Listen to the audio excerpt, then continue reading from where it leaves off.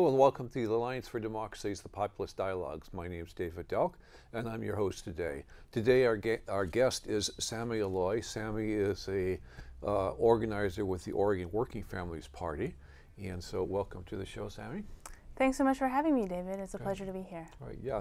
In part, I invited you uh, because you had done this video uh, with the B Media Collective, mm -hmm. and uh, we had them on last week. So uh, for any in our audience who didn't get to see that, well, by all means, go to our YouTube channel and take a look at that. Uh, really interesting uh, interview we did with uh, with the uh, B Media uh, Collective people. But so that was part of it. So we want to show the the video that sure. you did. but we also want to talk about your role with the Oregon Working Families Party and what the Working Families Party is.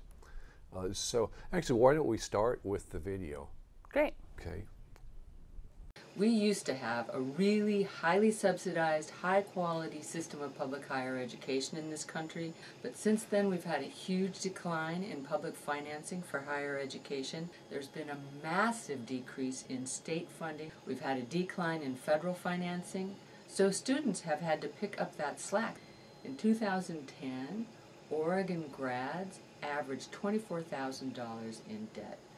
At the same time, their earning power is diminished. Real wages are flat or falling for young people. People are saddled with this debt. It's now more than a trillion dollars nationally. These loans are on draconian terms. They can be very hard to get out from under.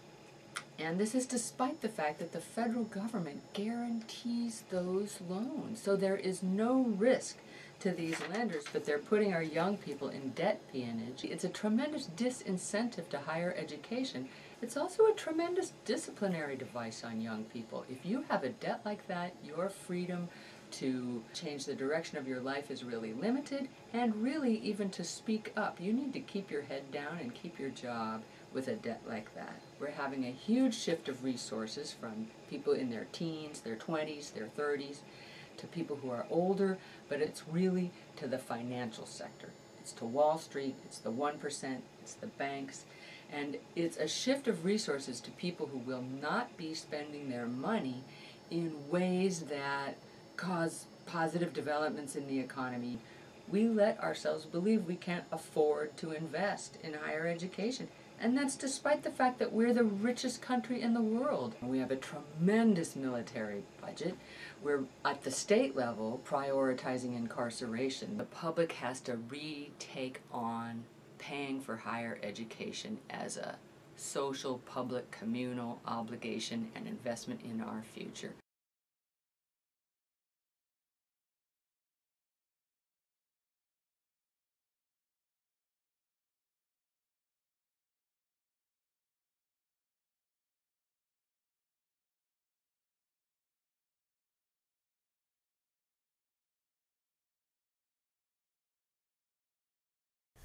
Wonderful. So uh, that that video you did with no experience prior to working on that. That's right. I've been an activist for you know most my entire adult life and part of my teenagerhood, and I've never really had a good handle on technology like many of us.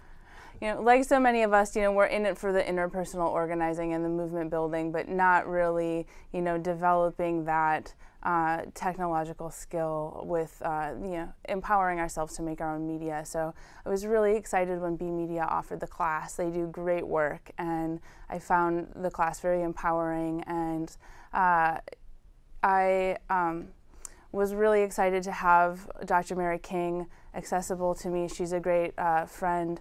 Uh, and someone who is an ally to the Working Families Party and has really helped us with our debt-free higher education campaign.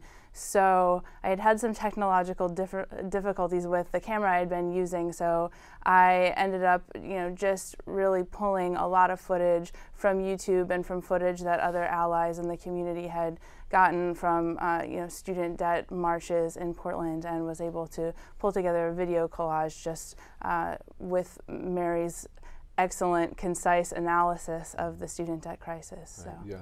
Yeah, I, I, was very impressed with it as a, as oh, a first you. attempt to, to do it. It was really very high quality. So, kudos to you and to the B Collective for uh, for getting that. For Thanks. Getting that. So why why why did you choose that topic? Because you you you took the class as a representative of the Working Families Party, uh, and the I think the instruction was to produce a video about the party or, or about the issues of the party. Right.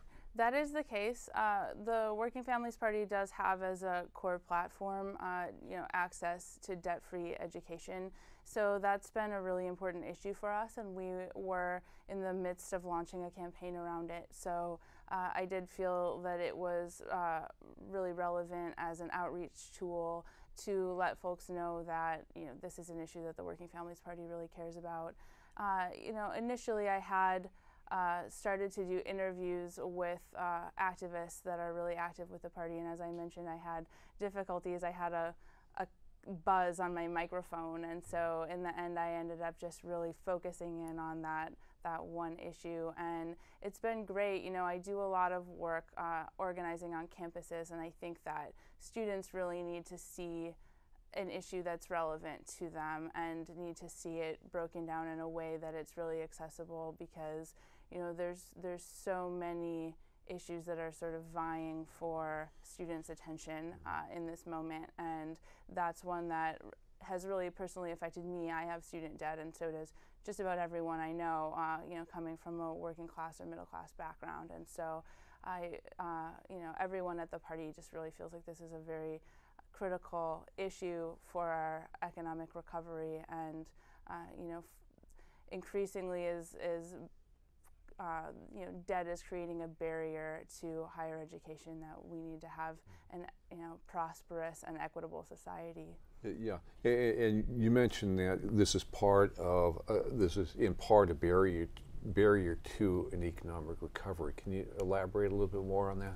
Uh, yeah, absolutely, David. I just think we need to have an educated populace in order to have uh, a healthy society, in order to uh, to be able to compete uh, in the global market, and also, you know, just to to have a populace that is, uh, you know, really able to to be successful and um, to create, uh, you know, access to the kinds of sectors that you know that the U.S. needs in order to move forward, especially when you look at green technology and the the kind of uh, energy sectors that we're going to need to move forward into a world with increasing, you know, global climate change being the crisis that it is. You know, I think part of the problem is that because of neoliberalism and economic policies that the U.S. has seen over the last 30 years, the U.S. is becoming a deindustrialized nation, and our uh, equality gap is just growing and growing. Uh, and so I think in order to, to really uh, nip that, that chasm inequality in the bud and, and really keep people uh, having access to the middle class, we need to provide working class and middle class families with access to education. And you know, it never used to be this way that people would end up $25,000 in debt after you know going to undergrad people that are obviously going you know to medical school are ending up $150,000 in debt. I'm sure you remember uh, you know a generation ago people were able to go to school uh, for free or for a nominal fee and it's um, tuition as a um, as a portion of median income has grown just since 1990 from 10% to 26% in the state of Oregon. And I think that that's really telling that, you know, working class people aren't earning more, but we're paying more to send our kids to college. Mm-hmm. And it really, um, you know, we get young people that are really weighing whether or not they're going to be able to make key life decisions, investing in the economy, investing in a home, starting a family, starting a small business, and they're having to delay those decisions because of their debt load. And uh, you know, I know even on a personal level, my I like to bank locally uh, because I you know believe that having a strong local financial sector is, is key to economic growth.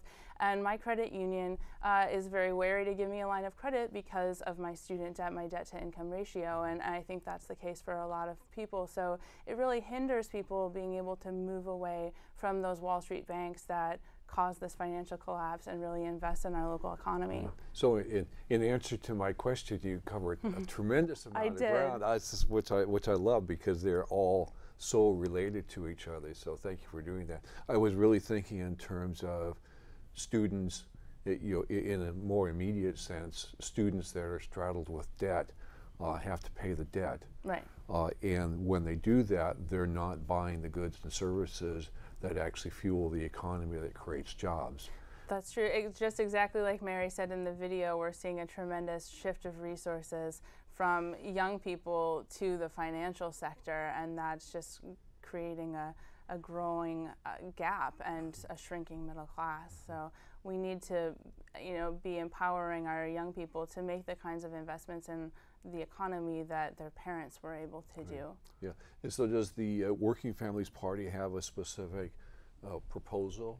Uh, We do. Okay. Talk, yes, talk about uh, it's a concept called Pay It Forward, and uh, it is in part uh, similar to the system that they use in Australia and New Zealand, where students at local at um, public community colleges, universities, and um, trade programs would have access to higher education with no upfront tuition. They would uh, go to school uh, without having to, to pay any tuition up front, and in exchange, they would sign a binding agreement that they would pay back into a fund, be it with the state of Oregon or with their institution. That'll depend on how the bill gets written.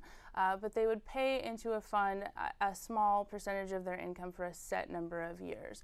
So a community college grad would pay about 1.5% of their adjusted gross income. A four-year grad would pay about 3% for 20 years, and that would be paid uh, conceivably as a payroll deduction, similarly to how we pay our Social Security um, and Medicare taxes, so that they have a dependable amount that they're paying each month, and it's not a debt. Uh, it accrues no interest, there's no fees, there's no default. You know, with student loans, you can never declare bankruptcy, you can never be free of those loans. This is going to give people a path to have access to their education, and then as their income hopefully grows, uh, the more years they're out of school, hopefully, you know, 20 years after you've graduated, you're making a lot more than you did when you had just graduated. And so that fund will grow, and the set percentage that people will be paying in, um, you know, will be a percentage of a higher income and uh, will create a stable funding stream for our universities and community colleges. And then initially, where do the funds come from? It'll take some transitional funding, and uh, we are talking to uh, State Treasurer Wheeler as well as uh, other legislators about where that could come from. Potentially, it could come in the form of bonding capacity or uh, private sector grants. Um, it could come from an allocation from the legislature or all of the above. Oh, okay. All right. So to be determined. Yes. okay, great. Yeah. So this is this is one concrete proposal that the Oregon Working Families Party has. And I, I think one of the real values of, of minor parties is that you are able to come up with these kinds of ideas that the major parties just don't seem to be able to wrap their heads around. You know, it's interesting that you say that because I think that, um, you know, as we're talking to legislators uh, in the major parties, it's uh, the, the, it's being met with some. Um, it's not being rejected. I think it's being um, met with uh, some amount of interest, but. I think due to the nature of our political system, the two-party system, where each party is, uh, you know, always trying to filibuster what the other party is doing, so that they can, you know, take that to the next election and say we were able to accomplish this and the other person wasn't able to accomplish anything. People aren't going to put those really innovative, outside of the box issues out on the table, uh, you know, for fear of you know, seeming too progressive or, you know, of, you know, just they don't want to put their head on the chopping block. And I think the power of minor parties, particularly the Working Families Party, because we use fusion voting, we cross nominate candidates from other parties so that we can build coalition with those parties. You know, that we're able to put those proposals on the table and really influence the dialogue and push the two major parties to be more accountable and to work together to think of creative solutions. Mm-hmm. Yeah, talk about fusion voting.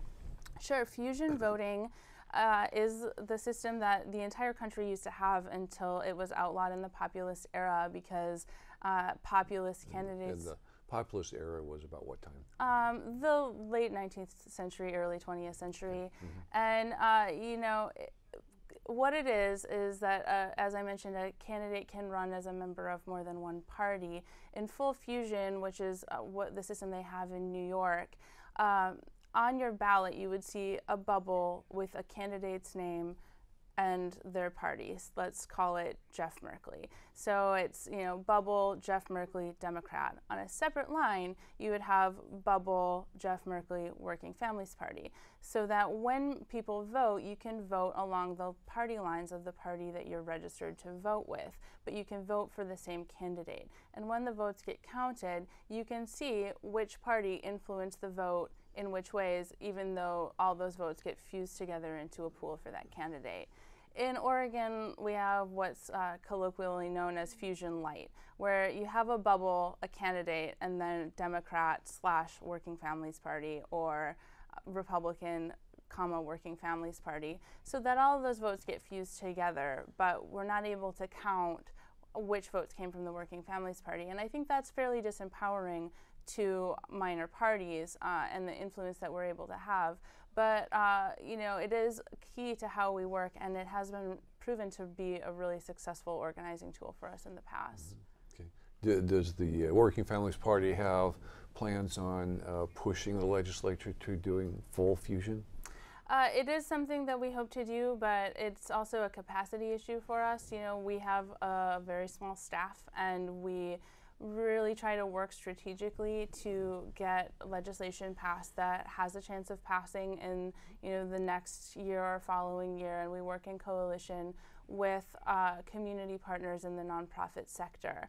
Uh, we have an ally table um, called the Working Families Organization, where we invite organizations like Jobs with Justice, Friends of Family Farmers, the Rural Organizing Project, and a host of others to uh, to share with us what their legislative agenda is, and then we uh, work together to um, to sort of use our uh, power in the electoral system uh, and our lobbying power to get those bills passed. And uh, you know, right now we have uh, a legislative agenda that we're really excited about, but we just don't have the bandwidth for fusion voting at this sure. time. Okay, all right. And so, talk about the the other components of your legislative agenda. Sure. So, uh, as I mentioned, Pay It Forward is figuring largely in there. Uh, you know, we do feel like student debt is a, a, critical issue that we're excited to be working on in the coming year. Uh, additionally, we work a lot on local banking issues, uh, and um, our flagship issue in the past has been the state bank. Uh, you know, in North Dakota, they have a state bank, and they've weathered the uh, economic crisis fairly well because of that. You know, it's a virtual bank that uh, the state treasury uses. It's not a consumer brick and mortar bank, and it, uh, as it's conceived of in Oregon. Or, or right, it's Dakota. not a bank that a consumer would go in and open a oh, checking oh, account okay. with. Mm-hmm. It's uh, it's a state bank in terms of it's uh, you know the central bank of the state of North Dakota, uh, and so in Oregon, what that would look like would be that the state treasury would partner with local banks and community credit unions to engage in participation lending using the you know nine billion plus dollars that we have in the Oregon Short-Term Fund, sort of also known as the state's cash, uh, and so the state would engage in participation lending with uh, community banks that would sort of it would boost those local banks lending capacity because they would have the partnership of the state. And we would invest the state's the taxpayers dollars in small businesses family farms, local investments that would help build our uh, you know local economy rather than as it stands right now we invest uh, the state short-term fund in uh, bank accounts and corporate notes with Wells Fargo, Wachovia, uh, Goldman Sachs, Coca-Cola, many others. Mm-hmm. So uh, we are um, continuing to push for um, to get closer to having a state bank. Uh, in 2011, we brought the state bank to the state legislature, and what we ended up with was the Oregon Investment Act, which established the Oregon Growth Board. Uh, it has some uh, components of uh, local financial sector development, but it really is not a state bank. And so we're going to continue to um, push the state treasury to, uh, to go in the direction of the state bank. We're also working on um, numerous local uh, um, municipal and county level local banking initiatives, asking municipalities and counties to um, invest the taxpayers' dollars locally to the greatest extent possible. And um, in addition to that, we are uh, working on an issue called Aggie Bonds that uh, would help um, local small farmers uh, and first time farmers to be able to uh, get some investment capital and build some equity. Okay, and that's actually a major problem. I, you know, it's not a problem that ever makes the headlines, but right. the ability of farmers to actually get money, uh, particularly new farmers, uh, to get money to actually finance their operations is very, very difficult. Absolutely, and you know, I think it really comes back to the Working Families Party's core platform of um, you know local, um, you know, good governance, healthcare, jobs, and education, and you know, building our local financial sector. You know, we really uh, are trying to work for working um, working class voters and uh, middle class voters, be it in both rural and urban areas, to be able to sort of work together to build some common um, political capital. And you know, when you're looking at across the nation what is happening to our rural areas and our uh, family farms, uh, sort of toppling because they're not able to compete with uh, you know large uh, multinational corporations. You know, I think. Um, having a really healthy family farming sector is really critical not only to our food security and uh, you know our health as a populace but also to the, the, the, sort of equity and strength of our local economy. Okay, all right. So uh, we have about a minute, minute and a half left. Uh, other working families parties other than Oregon? Uh, yeah, New York has a really strong Working Families Party. They're known for their great field effort. They're excellent grassroots organizers, and they work in coalition with numerous uh, different 501c3s in the New York, New York, area. There's also a nascent party starting in Washington State. Mm-hmm. There are um, there's one in Connecticut. Uh, South Carolina, and um, I think also Pennsylvania, to the degree that uh, states across the union have fusion voting, that's where the Working Families Party is oh, able okay. to get a, mm-hmm. a, stronghold. Okay, all right. And how do Oregonians, or in other states where there might be parties, how, how do how do ordinary citizens like myself get involved with the party?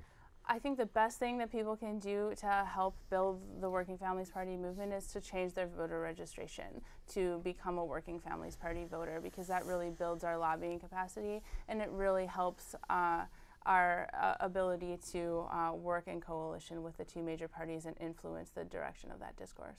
Excellent. Thank you so much for being here. Thank you, David. All right, great. So we've been talking with uh, Sami Alloy, with uh, an organizer with the Oregon Working Families Party today. If you'd like more information about the Oregon Working Families Party, you can find it at their website, www.oregon.w wfp.org. And if you like that video would like to watch it again, it is available at tinyurl.com slash or student debt. Uh, future action that folks here in the uh, Portland area might be involved with.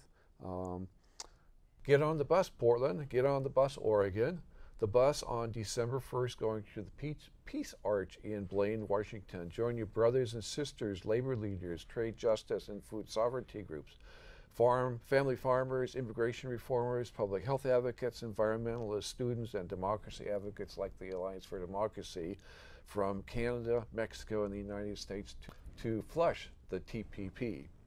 The TPP, that's Obama's Trans Pacific Partnership. That's Obama's first free trade agreement. That's NAFTA on steroids. The TPP will be the largest trade agreement since the 1995 WTO agreement. Join the historic cross border organizing rally and summit to launch a new tri-national campaign to defeat the TPP. Get on the free bus from Portland. Contact the Oregon Fair Trade Campaign at 503 736 9777 or email at elizabeth at oregonfairtrade.org. More information on the TPP is available at citizenstrade.org slash CTC slash Oregon. Or read the excellent overview of the TPP and past free trade agreements in the article on salon.com titled Trans-Pacific Partnership, the biggest trade deal you've never heard of. Read it at tinyurl.com slash TPP biggest deal.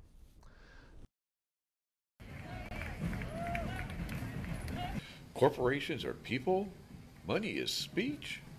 The U.S. Supreme Court, for more than the past century, has ruled that corporations have constitutional rights as if they were flesh and blood people like you and I. And since 1976, have repeatedly ruled that for political purposes, money is speech. In January of 2010, they ruled in Citizens United versus the FEC that corporations can spend corporate funds directly on so called independent campaigns, and the floodgates were opened. We want our democracy back. We can take our democracy back from the plutocrats and the corporations by amending the U.S. Constitution to make clear that corporations are not people and that money is not speech. Join us now in this new democracy movement and support amending the Constitution Learn more at movetoamend.org or here in Portland, Oregon at movetoamendpdx.org. And join the democracy movement with the Alliance for Democracy in Portland, afd-pdx.org, and nationally at thealliancefordemocracy.org. All right, let's get this done.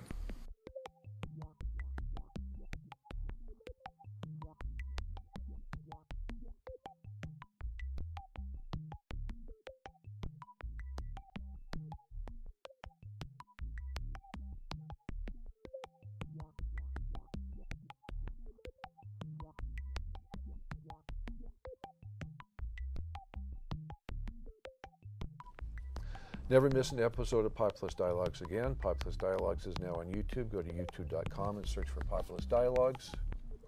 Click on the result with the Statue of Liberty icon to view all our shows this year and to subscribe. The mission of the Alliance for Democracy is to end corporate domination, establish true democracy, create a just society based on a sustainable, equitable economy. Please learn more by visiting our national website at www.thealliancefordemocracy.org or our Portland website at afd-pdx.org. Thanks to our crew today for being here and getting us on the air. Roger Bates, Joan Horton, Janet Morris, and Tom Thomas. And thanks to you, the audience, for watching. We hope that we'll see you again next week. Bye now.